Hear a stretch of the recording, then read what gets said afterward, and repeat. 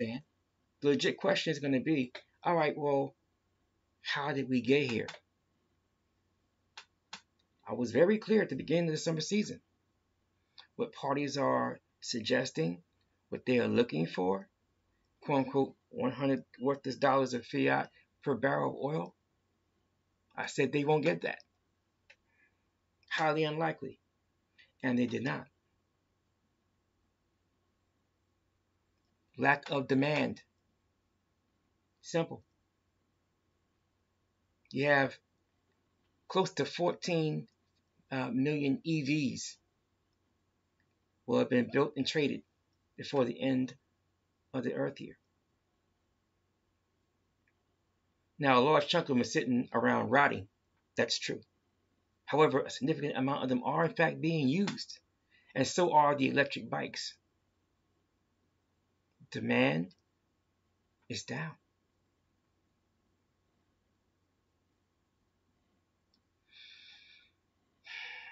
Even so called China, they're feeling the effects. They in Cush-Harappa, what they were doing was acquiring uh, oil from the arms dealers in Moscow. And refining it and reselling it.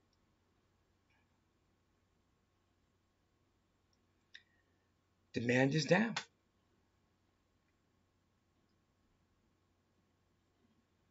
Cush-Harappa got hit by a significant typhoon. Right behind them, Ainu, so-called China, got hit with a massive typhoon.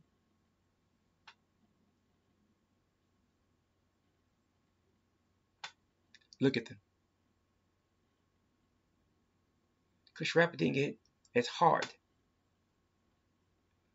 Ainu, on the other hand, Beijing was a lake.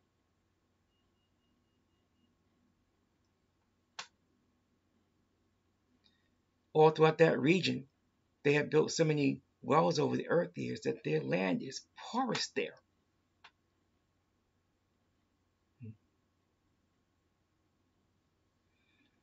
Subway tubes,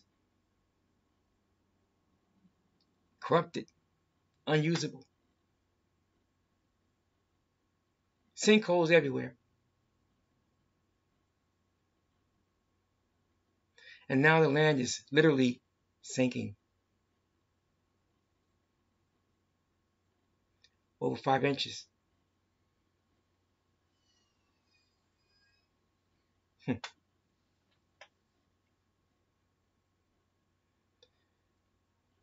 The floods over there are ongoing. And the floods have taken out at least 85% of their rice crop. They already import on top of their annual rice crop 100 million tons of grains.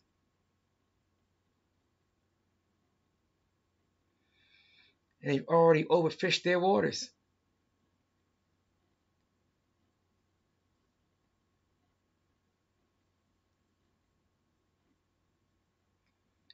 Demand for food and not enough supply. You know it's going to hit the commodities markets across the planet.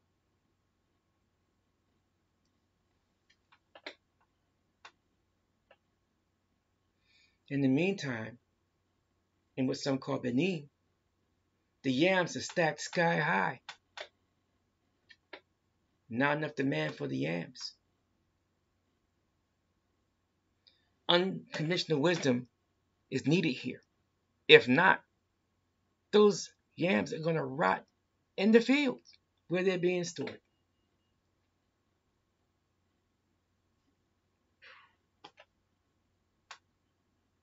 they should be contacting Akith and Kindred in Cush-Harappa.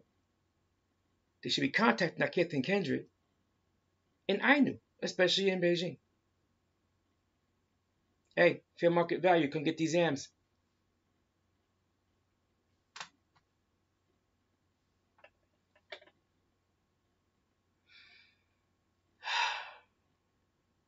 In North Mexico, the mental sloth continues. In South Mexico, we have opportunities.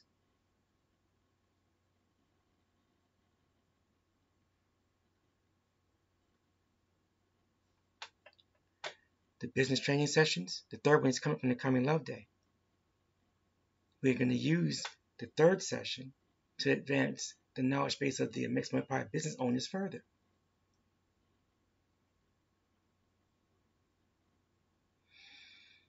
Give our folks opportunities by providing them with additional information to make their business models advance and cause them to prosper.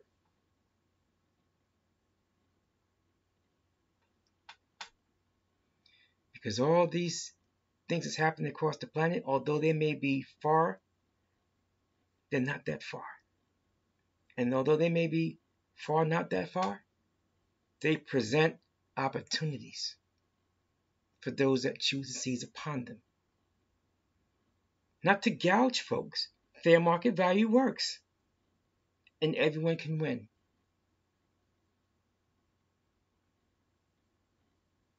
I'm happy to inform you that here in the Agade Medina, we have a new location for us to do our food growth operations in.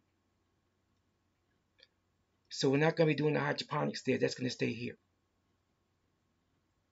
The regular non-hydroponics food operations are going to commence out on the west side of Agade Medina.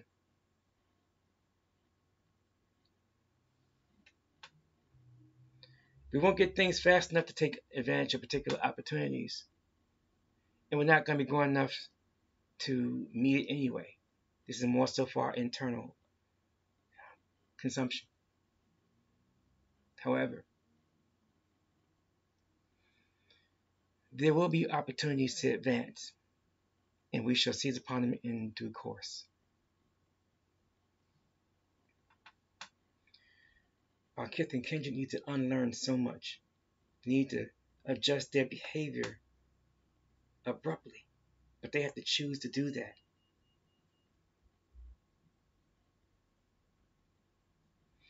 Parties are freaking out right now because in certain stores they have to wave their palm print to even get into the stores. Seven Earth years from now, they will have completed working their plans. There'll be no more cryptos. There'll be no more digital naira. There'll be no more digital rupee and all the other digital alleged quote unquote currencies. They're all going to be merged into one, the UMU, Universal Monetary Unit.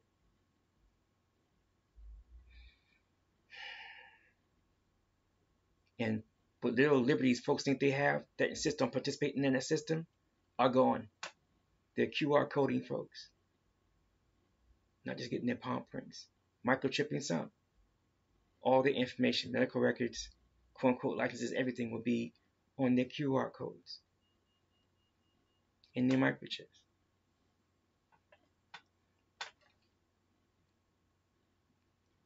All their privacy is gone. All their rights and protections gone.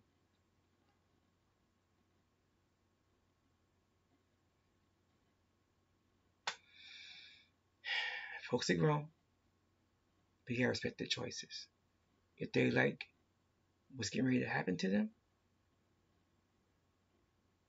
it is what it is, and it can't be what it's not.